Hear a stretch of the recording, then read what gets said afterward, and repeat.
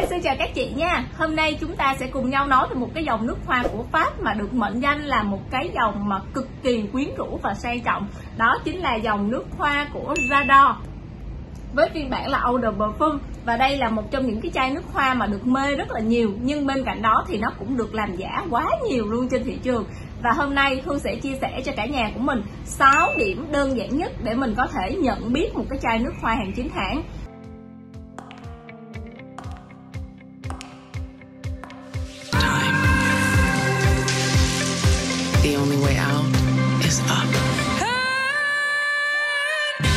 It's not heaven, it's a new world. The future is gold. J'adore. Dior. Điểm đầu tiên đó chính là mọi người quan sát giúp Hương về cái chai thật nó sẽ có một cái màu trắng Còn chai giả thì cái màu của nó sẽ hơi bị vàng và bị ngà một tí xíu Đó là một cái điểm rất dễ nhận biết ha Rồi đến cái điểm thứ hai đó chính là chúng ta sẽ nhìn vào cái logo CD này nè mọi người thấy không Đó là một cái à, cái miếng trắng và nó được ờ, in cái chữ vàng lên. Còn bên này thì nó lại làm theo một cái dạng khác là có đường viền vàng như vậy. Thì hương thấy là cũng là một trong những điểm mà chúng ta sẽ à, để ý ha. Điểm thứ ba chính là ở cái màn siêu ở phía phần sau nè cả nhà. Nó là một cái chấm tròn. Đó là một trong những cái điểm mà hương thấy là khó làm giả, bởi vì hàng giả thì nó sẽ không làm được cái điều đó. Rồi, bây giờ chúng ta sẽ cùng mở cái chai để xem những cái điểm khác biệt ở phía sau nữa là gì nha.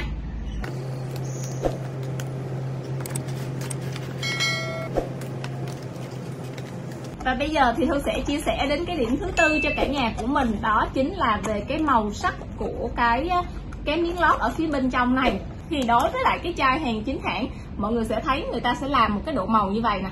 Nhưng bên cạnh đó cái điểm khác biệt đó chính là nó có một cái phần này Nó để cho mình có thể giữ được cái cái nắp của cái chai nước hoa này nè. Đó, nó có một cái phần như vậy Còn cái chai hàng giả thì nó lại không có ha. Bây giờ chúng ta sẽ đến cái yếu tố thứ năm khi nhìn vào cái chai thủy tinh nó sẽ vô cùng trong suốt và rất là khó để mình nhìn thấy cái ống ở bên trong. Còn chai hàng giả thì mọi người sẽ dễ dàng nhìn thấy được cái ống ở bên trong. Yếu tố thứ sáu chúng ta sẽ nhìn thấy rất là dễ dàng. Bởi vì trên cái đây nè, trên cái chai này, nó sẽ là một cái đường lượng sóng. Cái phần mà làm cái vòi xịt đó cả nhà và cái màu vàng của nó mọi người sẽ thấy ha. Cái màu vàng rất là tươi. Còn cái chai hàng giả thì đây, họ sẽ làm một cái đường viền nó chỉ tròn thôi, chứ nó không có được một cái sự lượng sóng như vậy ngoài ra nó còn có thêm một số yếu tố nữa. Cái nắp chai của hàng chính hãng nó được bọc cái lớp nhựa rất là đẹp. Trong khi cái lớp chai của cái hàng giả hình như như vậy. Nhìn nó rất là thường ha.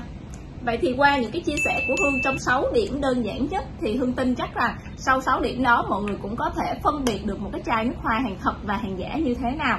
Cảm ơn mọi người đã lắng nghe những cái chia sẻ của Hương và hy vọng rằng sau cái video này sẽ giúp cho mọi người biết được 6 điểm để mình có thể nhận biết một cái chai nước hoa hàng thật thì sẽ như thế nào. Cảm ơn mọi người đã xem hết cái video này và mọi người đừng quên hãy like và subscribe kênh youtube của Visible Film. Chúng ta sẽ gặp nhau ở những video tiếp theo. Bye bye!